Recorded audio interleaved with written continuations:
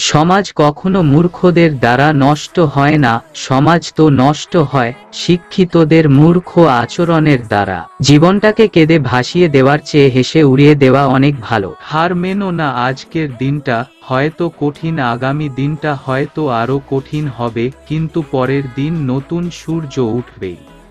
যিনি ভক্তির পাত্র, তাকে ভক্তি করবার মতো ক্ষমতা যদি না থাকে, অন্তত তাকে উপহাস করবার মতো অসৎ কাজ থেকে নিজেকে সব সময় সংবরণ করো। ধনী আর গরিবের মধ্যে একটাই পার্থক্য, ধনীরা খাবার হজমের জন্য দৌড়ায় আর গরিবরা খাবার জোগাড়ের জন্য দৌড়ায়।